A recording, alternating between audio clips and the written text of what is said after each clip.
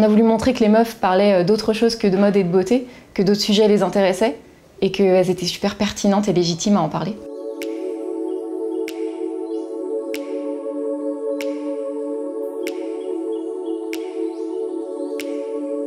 En fait, nous, on est parti du constat que les meufs n'avaient pas assez de visibilité.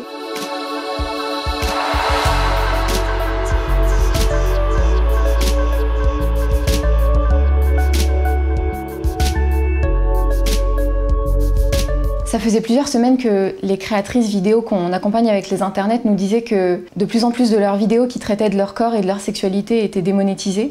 C'est pour ça qu'on a lancé cette campagne euh, Mon corps sur YouTube, notamment sur Twitter, en demandant euh, aux créatrices de faire savoir quand leurs vidéos étaient démonétisées.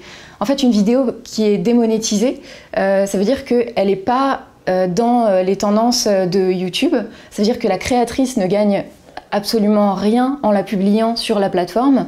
Et du coup, ça veut dire que les créatrices sont moins visibles sur YouTube. C'est pour ça que le sujet nous concernait. Donc typiquement, quand une meuf parle de règles, d'endométriose, de cancer du sein, quand une meuf parle de grossesse, d'accouchement, euh, de sa sexualité ou de son homosexualité, ça vient euh, éduquer euh, des millions de personnes et ça vient les décomplexer sur des sujets dont on ne parle pas autour de la table en famille en général. On se doute qu'elles sont démonétisées parce qu'elles traitent de sujets que la société juge encore tabous, et notamment que les publicitaires et YouTube jugent tabous. Et c'est ça le problème, c'est que c'est pas à YouTube et aux annonceurs de décider quels sont les sujets de société qui sont tabous, alors que ce sont des sujets qui viennent faire l'éducation de millions de jeunes femmes ou de jeunes hommes. En fait, les meufs qui parlent de leur corps ou de leur sexualité ou de leurs euh, problèmes féminins sur YouTube, elles jouent un petit peu le rôle de grande sœur auprès de nanas qui peuvent être euh, complexées ou euh, qui manquent d'éducation sexuelle.